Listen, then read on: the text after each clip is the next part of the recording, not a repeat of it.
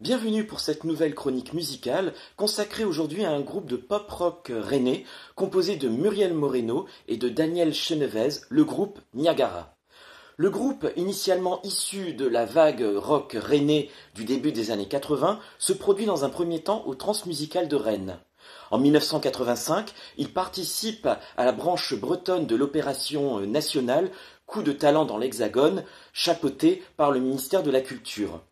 Le groupe va remporter un premier succès, ce qui leur permettra d'enregistrer leur premier 45 tours, Chicky Boom, un véritable premier succès dont voici un extrait.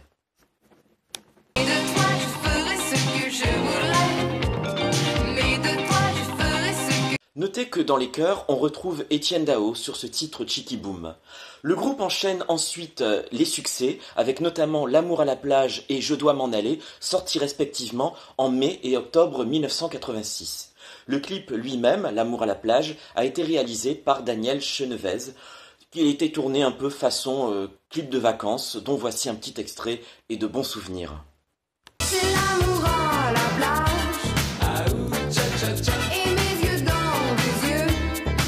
Ses premiers succès feront l'objet d'un album qui sortira à la fin de l'année 86, dont le titre est Encore un dernier baiser.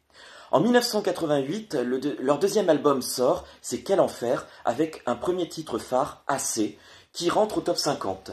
Pour promouvoir cet album, le groupe va enchaîner euh, des concerts à travers l'Europe sous l'égide de MTV Europe. Tout de suite, un petit extrait de AC.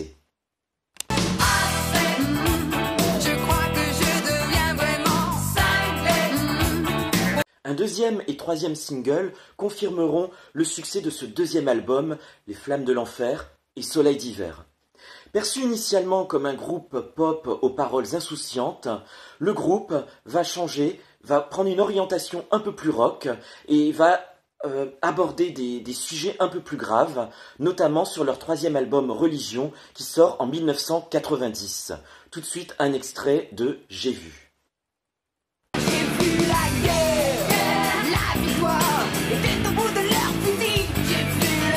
Pour l'anecdote que le titre et le clip de J'ai vu, pourtant sorti en mai 1990, sera interdit d'antenne et de diffusion au début de l'année 1991 en raison de la première guerre du Golfe, car les paroles et les images étaient jugées trop violentes et trop angoissantes. Ce sera la même chose pour le second titre issu de l'album Religion, Pendant que les champs brûlent, qui sera un moment interdit d'antenne également. Tout de suite, un petit extrait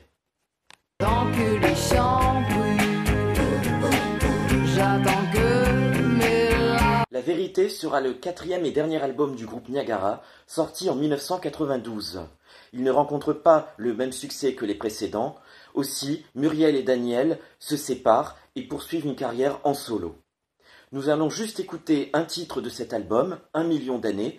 D'ici là, prenez soin de vous, restez chez vous et à bientôt. Fait plus d'un